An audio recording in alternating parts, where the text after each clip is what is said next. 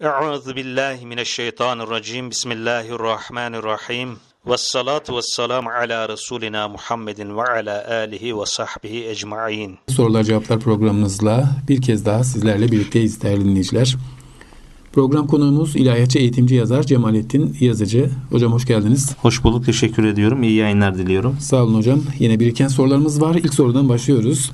Tevafuk ve tesadüf kelimeleri arasındaki fark. Evet. Tevafuk demek muvafık olma manasına geliyor. Yani Allah denk getirdi anlamına geliyor. Tesadüf ise karşılığı olmayan yani herhangi bir kaderin bir programı olmayan şekilde anlamına geliyor. Tesadüf etti deniyor ya bazen. Tabi tesadüf diye bir şey yok esasında. E, kainatta, evrende mutlaka tevafuklar vardır. Mesela iki insan karşılaşır. Tesadüf ettik derler esasında. Tesadüf edilmez. Tevafuk edilir. Allah denk getirir. Mutlaka hikmetleri vardır. Tevafuk etmenin hikmetleri vardır. Yani maalesef toplumumuzda dilimize böyle bir kelime girmiş. Tesadüf kelimesi girmiş. Tesadüflerle tabi olan hadiseleri izah etmek mümkün değildir. Hatta bir arkadaşınıza karşılaşırsınız bir meseleniz vardır. Aklınızda hayalinizde olmayan bir probleminiz vardır. Onu çözeceksinizdir daha doğrusu.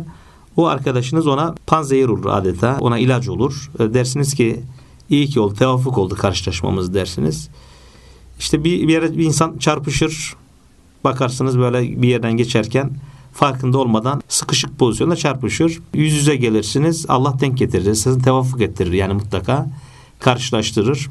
Yani her bir hadisede bir tesadüf yoktur. Bir muvaffakiyet vardır. Allah'ın bir bilgisi vardır. Bunu da nereden anlıyoruz? Ağaçtan düşen her bir yaprağın diyor bilgisi Allah katındadır. Yani Allah o şeyde müdahale etmektedir.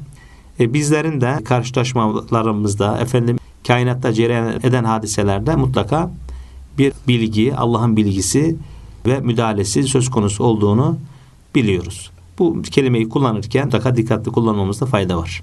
Taziye nasıl olmalıdır ve taziye kaç gündür? Evet başta taziye kaç gündür onu söylemiş olalım.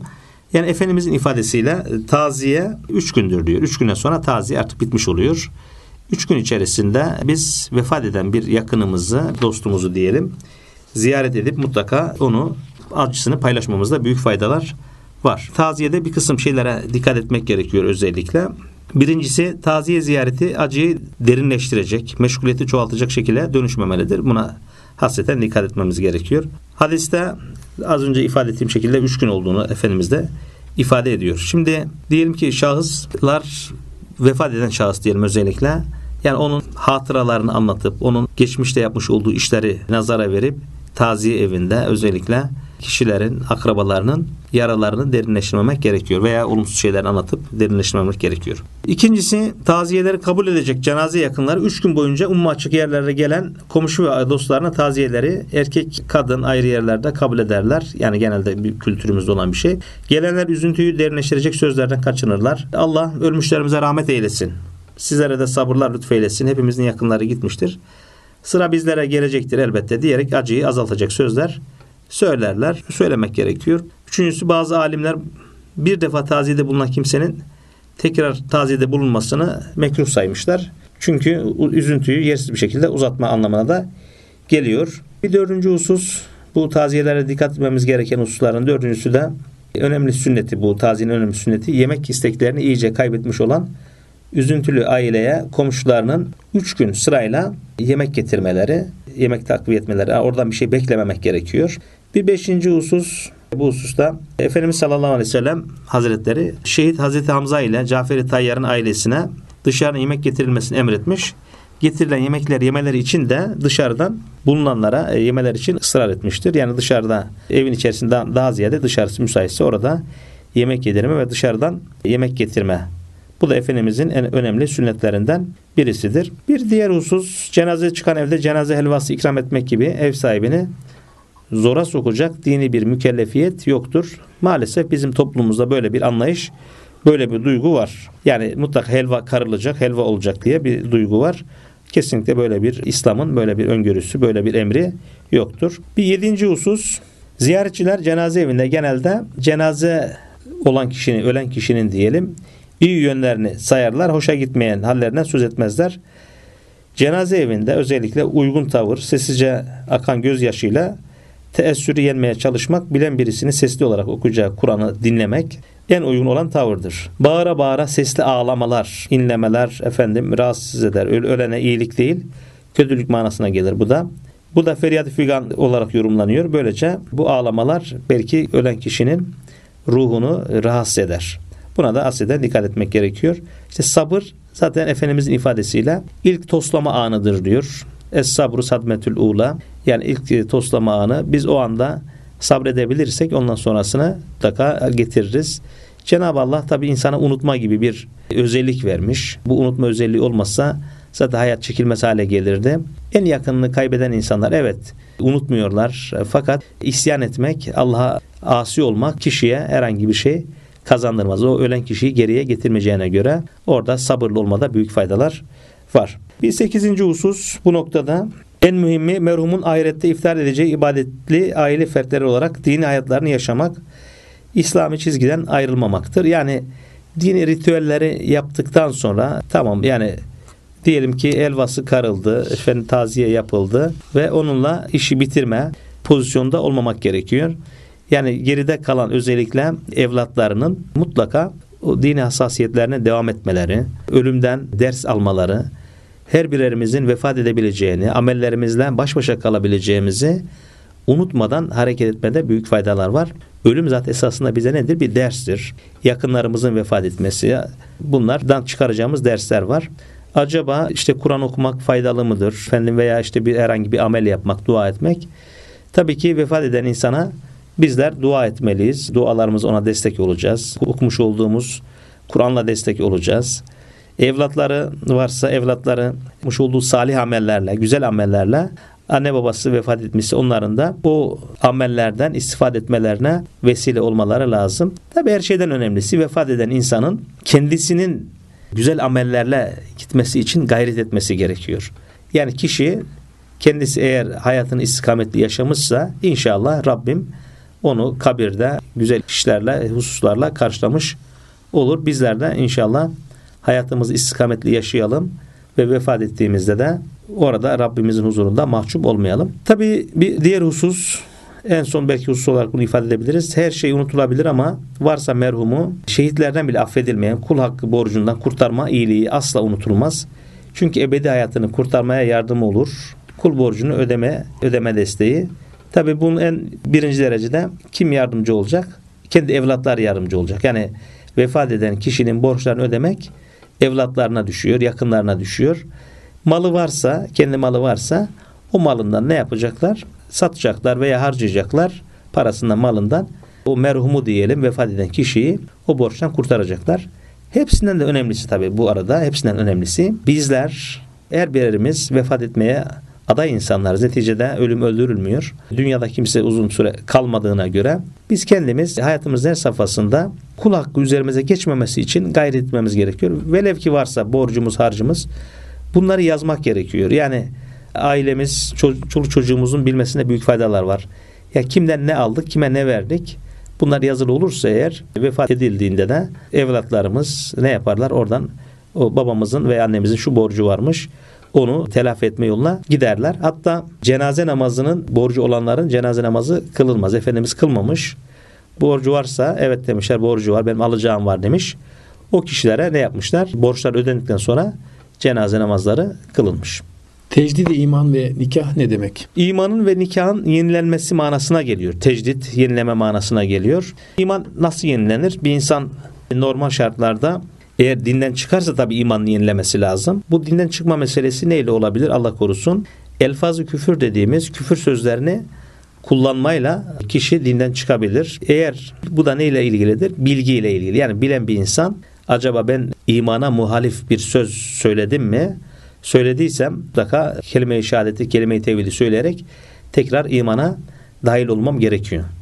Birincisi bu küfür sözleri e, Allah muhafaza kişinin imanı çıkmasına vesile olabilir, sebep olabilir. İmanı çıkmış olan bir insanın da tekrar eğer evli ise nikahda düşer. Yani normal Müslüman olmayan, Müslümanlıktan çıkan bir insanın imanı da düşmüş, nikahda düşmüş olur. Nikahında te- tekrar ne yapması lazım? Yenilemesi gerekiyor. Hatta Efendimiz Aleyhisselatü Vesselam'ın kızı Zeynep validemizin eşi başta tabi Müslüman olmuyor. Daha sonra Müslüman oluyor. 628 Uleybi anlaşmasından sonra Müslüman olduğunda nikah tekrar yenilenmiş oluyor. Nikah imanlı olmayan insanlar için nikah ne yapmış oluyor? Düşmüş oluyor. Bu iman nikah yenilemede ne zaman olduysa ki geçmiş dönemlerde camilerde perşembe günler yapılırdı. Perşembe cumaya bağlayan gecelerde. Tabi bu perşembe cumaya bağlayan geceyi değil hangi zaman dilimi içerisinde böyle bir vaka olduysa hissettiysek yanlış yaptığımızı hissettiysek o anda nikahımızı ve imanımızı yenilememiz lazım. Allah korusun. Eğer bu yenileme işini yapmazsak iman meselesinde vefat ederse kişi imansız vefat etmiş olur. Rabbim muhafaza eylesin. Seferilik otobüsle değişir mi? Seferilik otobüsle değişmez. Neticede İslam alimleri diyelim, fıkıh alimleri, bu işin uzmanları 3 günlük mesafeyi esas almışlar. Yürüme mesafesi. Bu da şöyle hesap etmişler. Bir kişi günde 30 kilometre yol yürüyebilir. 3 günlük mesafe olarak düşünüldüğünde 90 kilometre olarak kabul etmişler. Bizim mezhebimiz atlı yaya fark etmez demişler. 90 kilometre yani 3 günlük mesafeye 90 kilometre olarak 90 kilometre yol gidildiğinde seferi olunacağını ifade etmişler. İmam-ı Şafii Hazretleri ve onu takip edenler 3 günlük mesafeyi tabi sadece yürüme olarak almışlar ve diğer hızlı vasıtalarla gidildiğinde onu 90 kilometreyi kabul etmemişler.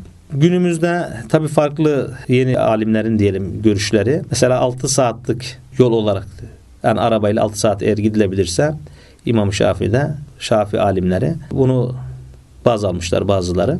Yani farklı görüşler var fakat özet olarak şunu söyleyelim. 90 kilometre yol gittiğimizde biz ne yapmış oluyoruz? Seferi olmuş oluyoruz. Bu otobüsle, uçakla, trenle hiçbir zaman fark etmez. İstersen hani kişi ışınlanmış olsun yani bir anda gidebilsin böyle bir teknoloji olsa onda da diyorlar seferi olur. Seferilik otobüste değişir mi dedikten sonra seferiliği devamlı olan şoförlerin durumunu soralım hocam. Şimdi devamlı tabii yolculuk yapan şoförler var. İşte bu pazarlamacılar olabiliyor, otobüs şoförleri olabiliyor. Bunlar bir yere durmuyorlar. Bunlar her an yani ne kadar yol gidiyorlarsa her zaman seferi olurlar. Yani seferlikleri bitmez. Yani biz biz devamlı yolculuk yapıyoruz bu yollarda deyip artık o yolların kralı gibi düşünerek seferlik onların üzerinden düşmemiş oluyor. Bu noktada ne yapacaklar? Seferiler ne yapar? Tabi onu da burada arz etmiş olalım dinleyicilerimize. Seferiler tabi normal namazlarını kılarlar fakat dört rekatlık farzları iki rekat olarak kılmış olurlar. Bu da dinimizin bir kolaylığıdır. Bu kolaylığı mutlaka e, ne yapmak lazım? Uygulamak lazım. Ha uygulanmadığı zaman, unutulduğu zaman diyelim namaz kıldık dört rekat, iki rekat kılacaktık ha dört rekat kıldık unuttuk. Bunda herhangi bir mahsur yoktur. Yani namazımız olmuştur Allah'ın izniyle. Umre yapana hac farz olur mu? Evet böyle toplumumuzda da böyle bir anlayış var. Umre yapan hac farz olur gibi. Hatta umreden belki bu noktada soğutma gibi bir duygu düşünce de hakim olabilir bu işin e, temelinde. Şimdi bir kişiye imkanları varsa, sağlığı yerindeyse, efendim e, mali imkanları varsa hacca gitmesi farzdır. Şimdi diyelim ki umre yaptı. Hacca gidecek pozisyonu yok da umre yaptı. Günümüz şartlarına biraz daha tabii hac meselesi zor. Çünkü çok ciddi manada bir talep var ve o talebi e, yerine getirebilmek için yazılıyorsun. Belki 7-8 senede 10 senede ancak çıkıyor. Kontenjan meselesi var. Böyle olunca insanlar ne yapıyorlar? En azından bari bir umreye gidelim diyorlar. Umreye gittik diyelim. O da Efendimizin sünneti. En önemli sünnetlerinden birisi. O zaman e, imkanımız vardı umreye gittik. Fakat daha sonra imkanımız olmadı. Yani hacca gitme imkanımız olmadı gerek belki zaman yönüyle gerek mal mülk yönüyle yani ekonomik yönden ekonomik yönden eğer imkanımız olmadıysa o zaman ne yapmayacağız? Bir sorumluluk üzerimize düşmemiş olur. Yani kesinlikle umreye gidene hac farzdır diye bir dinde böyle bir kaide yoktur. Neden? Haccın şartları bellidir. O şartlar eğer üzerimizde varsa yerine getiririz. Yoksa 10 defa da umre yapmış olsak imkanımız yoksa Allah onu bizden sorumlu tutmaz. Bazen yine kulağımıza geliyor. Üç umre yaparsan hac yerine geçer gibisinden. Böyle bir şey söz konusu mu? Belki sevap noktasında sevap olur ama farzı düşürmez. Yani İslam beş temel esası olan hac ibadetinin düşürmez. Tabi şöyle de bir anlayışta olabiliyor zaman zaman insanlarda. Tabi dini kendilerine göre yorumlayan insanlar çıkabiliyor. Burada diyor şu kadar insan işte açken, şöyleyken, böyleyken siz nasıl hac yapabilirsiniz? İşte efendim akrabalarınızda şu kadar ihtiyaçlı olan var. Hacca gidilir mi? Umre'ye gidilir mi? Tabi bunlar doğru şeyler değil. İmkanımız var. Zekat verme durumumuz varsa zaten biz o yakınlarımıza, beldemizde bulunan e, fakirlere vesaireye mutlaka yardımcı olmamız lazım. Yani o haccın parasını bir yerlere dağıtmak Doğru değil. Çünkü öyle olsaydı Cenab-ı Hak derdi ki fakirler varsa hacca gitmeyin derdi. Yani hac ibadetini farz kılmazdı. Bunun e, günümüzde tabii biraz daha böyle uzun süre kalma gibi bir durumlar da olabiliyor. İşte hacca gidildiği zaman ritüel haline getirilmiş bazı şeyler. Biz zaruri kısımlarını bilip keşke böyle bir imkanımız olsa zaruri kısımlarını bilip belki haccın rakamları daha da düşürülebilir aşağıya. Belki o kısmını o da bizi tabi aşan mevzu olduğundan dolayı biz imkanlarımız ölçüsünde sorumluyuz. Üç defa umreye gittin hac yerine geçti hacca gitmeye gerek yok gibi bir anlayış doğru değil. Veya işte fakir fukara varken neden hac yapıyorsunuz bu doğru değil. Bunlar doğru şeyler değil. Yani Allah bizi bizden daha iyi biliyor insanlar kulları iyi bildiğinden dolayı o ibadeti bize farz kılmış. Hikmetleri birçok sayamayacağımız hikmetleri var. Rabbim inşallah emirlerine karşı hassas olmaya bizleri muvaffak eylesin. Amin. Hacca gitmemiş bir insanın iyilik duygusu, iyilik yapma duygusu, insanlara faydalı olma duygusuyla gidip geldikten sonraki duygusu kıyaslandığında kıyas kabul etmez aslında. Daha önce eli sıkı olan, eli cebine gittiğini sanki akrep varmış gibi elini cebine götüren kimi zenginlerimiz hacı gittiğinde, oradaki güzellikleri gördüğünde, o güzellikleri yaşadığında Türkiye'ye döndüğünde ya da kendi bulunduğu ülkesine döndüğünde hacca gelen insanlar açısından söylüyorum. Dünyaya bakışı, insanlara bakışı çok farklılaşacak. Belki daha fazla sayıda insana yardımcı olacak. Daha fazla sayıda insana el uzatacak. Haccın dediğim gibi hikmetlerini anlatarak bu programın süresi içerisinde anlatmamız mümkün değil. Dolayısıyla Allah gidenlerin haclarını, Gidenlerin umresini kabul buyursun. Gidemeyenlere de e, Yüce Rabbim nasip eylesin inşallah. Amin. Utanma duygusunu kaybeden insani değerini de kaybetmiş mi olur? Utanma tabi haya haya olarak tabi geçiyor. El, el haya minel iman. İman 70 küsur şubedir diyor Efendimiz Aleyhisselam. Bunların bir şubenin birisi de diyor haya. Haya duygusunu, haya duygusunu kaybedince diyor e, Allah korusun imanında bir bölümünü kaybetmiş olur. Şubenin birini kaybetmiş olur. Tabi biz hani yine Efendimizin ifadesi utanmadıktan sonra istediğini yap.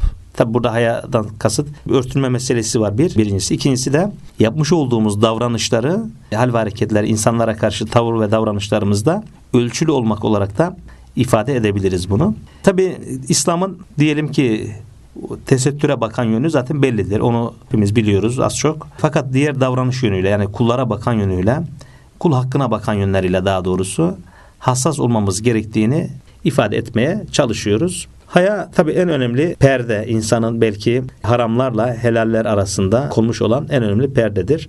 İşte o perde yırtıldığı zaman e, bakıyorsunuz ki haram sınırlarına insan çok rahat bir şekilde girebiliyor. Bu haram sınırları tabii Allah korusun insanı cehenneme doğru yaklaştıran kötü ameller diyelim biz en kötü işler. Rabbim bizi hayali olmadan hayadan mahrum bırakmasın. Hatta şöyle bir anekdot aklıma geldi. Hazreti Osman Efendimiz haya abidesidir biliyorsunuz. Sahabe efendilerimiz içerisinde her bir sahabenin böyle farklı güzelliği var, farklı özelliği var. Hazreti Osman Efendimiz de hayanın timsalidir. Bir gün Efendimizin huzuruna Hazreti Bekir geliyor başta. Efendimiz şeyini bozmuyor, evine ziyarete geliyor. Durumunu bozmuyor hiç. Biraz rahat oturuyormuş demek ki. Hazreti Ömer Efendimiz geliyor daha sonra. Yine durumunu bozmuyor. Sonra Hazreti Osman Efendimiz geliyor. Damadı geliyor. Gelince Efendimiz toplanıyor bu sefer. Derli toplu oturuyor. Diyorlar ki işte Ebu Bekir geldi bozmadın kendini. E, Hazreti Ömer geldi bozmadın. Fakat Hazreti Osman gelince kendini toparladın. Efendimizin ifadesi diyor ki meleklerin diyor haya ettiği bir insana karşı ben nasıl edep olmayabilirim diyor. Onu gördüğü zaman melekler bile kendine çeki düzen verirler diyor Hazreti Osman'ı gördükleri zaman. Demek ki yani davranışlarımızda hayalı olma, ölçülü olma, hareketlerimizde ölçülü olma, fikirlerimizde ölçülü olma, hayal edepli olma dinimizin en önemli emirlerinden, bize tavsiyelerinden birisi. İnsanın üzerindeki geçmiş haklar nasıl ödenir? Şimdi zaman zaman belki vurguluyoruz. Ee, burada hak geçmiş haktan kasıt kul haklarıdır tabi bu. Diyelim ki bir yerde çalışıyoruz. Farklı bir ilde çalışıyoruz. Memuruz. Oradan ayrıldık. Çalıştığımız insanlarla irtibatımız koptu. Fakat orada herhangi birisi bizim birisinin hakkı bizim üzerimize geçti. Burada ne yapacağız? Nasıl hareket edeceğiz? Tabii en önemli meselelerden birisi budur. O kişinin tabii yakınları varsa vefat etti diyelim ona ulaşamıyoruz bu şahısa. Yakınları varsa o kişinin yakınlarına o hakkı şahsın hakkını işte babanın diyelim annenin hakkını yakınlarına varislerine ulaştırmamız gerekiyor başta. Diyelim ki onlara da ulaşamadık. Öyle oldu ki artık tamamen şey kayboldu. Alacak meselesi, verecek meselesi artık şahısları unuttuk, ulaşamıyoruz. O zaman ne yapacağız? O zaman da o kişi hakkında ne kadar hakkı geçtiyse onu biz az çok biliyoruzdur. O kişinin alacağı şeyi sadaka olarak veririz. Tasalluk ederiz o kişinin adına. Böylece bir noktada e, tam olmasa bile kendimizi affettirme yoluna gitmiş oluruz. Yoksa diğer türlü ya Allah affetsin. Günahlar işliyoruz, işliyoruz, işliyoruz. Sonra Allah affetsin, Allah affetsin. Mutlaka tabii ki Rabbimiz affeder. Fakat iki tabir yerindeyse yani kırmızı çizgi olarak düşünecek olursak Rabbimizin iki kırmızı çizgisi var tabir yerindeyse. Bu nedir? Birincisi Allah'a eş ortak koşmamak. Allah'a eş ortak koşulduğu zaman Rabbimiz bu eş ortak koşmayı affetmiyor. İkinci kırmızı çizgi ise kul haklarıdır. Bu kul haklarına haseden riayet etmemiz lazım. E, kul hakkıyla gelmeyin diyor. Çünkü zerre miktar hayır yapıldığı zaman Allah orada mutlaka karşımıza çıkarıyor. Zerre miktar şer yapıldığında yine karşımıza çıkardığına göre zerre miktar hak geçtiyse eğer birisinin hakkı üzerimize geçtiyse bizden bu hakkı ne yapacaktır? Rabbimiz alıp karşı tarafa verecektir. Biz unuttuk. Cenab-ı Hak unutmuyor. Kaydettiriyor. Kiramen katibi meleklerine bunu kaydettiriyor. Her bir işin diyelim, amelin, her bir hakkın diyelim, e, hak sahibine iade edilmesi Allah'ın adili mutlak olmasının en büyük gereğidir bu. Biz böyle düşüneceğiz, böyle bileceğiz. Biz unutsak da Allah unutmadığını bilerek hareket edeceğiz. Diyelim ki hata yapıldı. Olabilir. İnsan hata yapabilir. Her birerimiz hata yapabiliriz. O hatanın telafisi adına yapılması gereken, atılması gereken adımları atmamızda büyük faydalar var. Çünkü daha sonra keşke demek, keşkelere takılmak bize bir şey kazandırmaz. Rabbim kul haklarına üzerimize geçen haklar varsa bunları anlayıp hatırlayıp sahiplerini iade etmeyi cümlemize nasip etsin. Çünkü en önemli mesele budur. Belki ibadetlerde kişinin eksiği olur, şu olur, bu olur. Rabbimiz onu bağışlar. Hatalar, kusurları olur, bu farklı. Onlar bağışlar. Fakat bu kul haklarını ne yapmıyor? Rabbim şahısların kendilerine bırakıyor. Hiçbir amelin fayda vermeyeceği bir günde diyelim, yevmül mahşerde her bir insan hakkını almak isteyecektir. Çünkü orada amellerinin sevaplarının artı olması için, ağır basması için sevaba ihtiyacı var, amele ihtiyacı var. Onlar da nasıl olacak? İşte o hakların belki iadesiyle olacak. Orada insanlar belki çok e, bonkör davranmayabilirler. En yakınlarımız bile. Bu noktada yakınlarımız, uzağımızda vesairede olanlara hiç fark etmez. Hakların iadesi gerekmektedir. Dünyadayken helalleşmeden öbür aleme göçmek ve orada tabi hesabın daha farklı ve daha çetin olmasına işaret. Tabi burada şu var Habib Bey. Şimdi adam diyor ki hakkını helal et diyor. Mesela siz de helal olsun diyorsunuz ama neyi helal et? Yani ne var orada? Hangi hak var da onu helal et? Onu bilmiyorsunuz. Yani burada hak derken şimdi mesela diyelim kişilik haklarına saygısızlık olabilir, gıybet olabilir, dedikodu olabilir, iftira olabilir. işte mal olabilir vesaire olabilir. Yani, yani hak neyse neyse onun cinsinden söylemek lazım. Yani ben senin dedikodunu yaptım. Şöyle şöyle söyledim hakkında deyip öyle helalleşmek gerekiyor. Yoksa diğer türlü hakkını helal et. Veya şöyle benim sende herhangi bir hakkım ne varsa topyekun ben bütün haklarımı helal ediyorum. Sen de hakkını helal ediyor musun? Ne varsa hakkın olabilecek ne varsa gibi böyle genel bir ifade de geçerli olur mu? Artık biraz tabii onu bile yapmada zorlanıyoruz. Hani çünkü söylemeye utanıyoruz bazen. Ama şunu demek lazım hakikaten sammane arkadaşımız diyelim veya akrabamız, yakınımız ya sen teferruatını sorma bana. Benim üzerinde, benim senin üzerinde varsa ben de sormayayım. Ama bu mal değil yani. Belki işte az önce bahsettiğimiz gibi şahsa yönelik şeyse yani sözde olan bir haksa diyelim daha doğrusu. Helal ediyorum derse belki olabilir yani o zaman olabilir. Ama işin esası, usulü yani hangi kelimelerle ne söylendiyse onunla söylemek lazım. Şimdi zaman zaman biz bunu anlatıyoruz. Ben bunu diyor söyleyemem diyor. E söyleyemezsen niye bu dedikoduyu yaptın veya niye bu iftirayı attın mesela? Oluyor böyle zaman zaman barıştırmak istediğimiz insanlar arasında. Belki de karşı taraftan öngörülmeyecek bir tepki alırım diye mi? Evet, mutlaka tabii. Yani insan böyle bir yanlış olduğunu, yanlış bir iş yapıldığını veya kişilik haklarına saldırıldığını hissederse bir insan tabii ki o insana karşı bir kırgınlığı meydan, kırgınlık meydana gelebilir. Yani kısacası sünnete farza ve sünnete uyulmadığı zaman inan bu hadiseler tabii böyle hadiseler yaşamamız gayet normal. Yani defaatle belki ifade ediyoruz aynı şeyleri zaman zaman yeri geldiğinde. İki şeye dikkat edin diyor Efendimiz. Ben size cenneti garanti edeyim. Nedir? Dilinize dikkat edin diyor yani. Bu dil meselesi çok önemli. Bir de iffetinize, namusunuza dikkat edin. Cenneti garanti edeyim diyor. İki şey. Yani bu iki şeyi insan dikkat ettiği zaman demek ki diğer ameller arkasından güzel bir şekilde gelecektir. Yani ibadetleri de gelir. hassas olduğu yani dinin emrettiği hassas emirler diyelim arkasından gelecektir. Rabbim inşallah rızası istikametinde bizleri yaşatsın. Hesaba çekilmenin dehşetini, hesaba çekilmenin o büyüklüğünü gördüğü zaman insanlar belki de geriye dönüp e, keşke dünyada o muhatabımızın ayağına kapansaymışız. Keşke elini öpseymişiz de bizi onun girmiş olduğumuz haklarından dolayı haklarını bize helal etmiş olsaydı diyecek. Belki iç geçirecekler. Yani biraz önce buyurdunuz ya yani insanlar çekiniyor. Acaba nasıl bir tepki alırım, nasıl şey yaparım diyerekten düşünüyor. Evet. Söylememeyi tercih ediyor. Ve bu şekilde öbür aleme göçüyor. Sonra da oradaki dehşetli durumu gördüğünde de keşke ben helalleşseymişim. Bunun içinde şunları şunları da yapsaymışım. Niye kendimi zorlamamışım?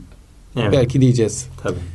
Ama o zamanki e, pişmanlık da pek fayda Evet. vermeyecek. O yüzden şu anda fırsat elimizdeyken, e, hala nefes alıyor iken fırsatı ganimet bilerek, zamanı iyi değerlendirerek muhataplarımızla helalleşmeye bakmalıyız. Bu hepimiz için geçerli olan bir durum değerli dinleyiciler.